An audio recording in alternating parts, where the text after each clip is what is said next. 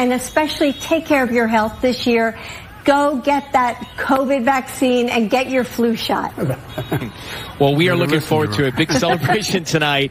Thank you very much for being with us. Happy New Year. Happy, Happy New, New, Year, Year to you and to whole, all America. To all Americans.